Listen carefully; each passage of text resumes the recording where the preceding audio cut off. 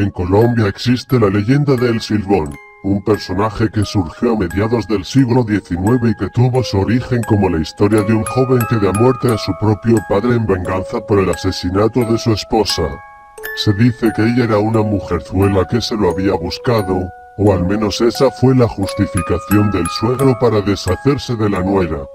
El abuelo del joven mandó a atar al justiciero en un poste en medio del campo y destrozar su espalda con latigazos.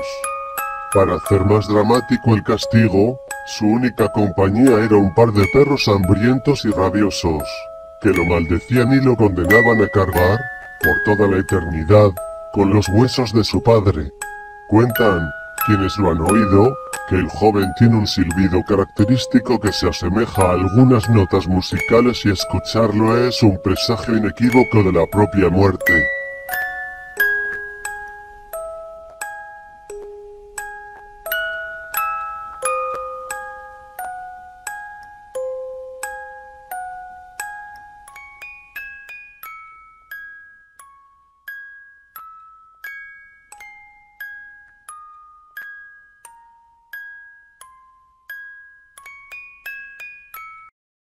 girl.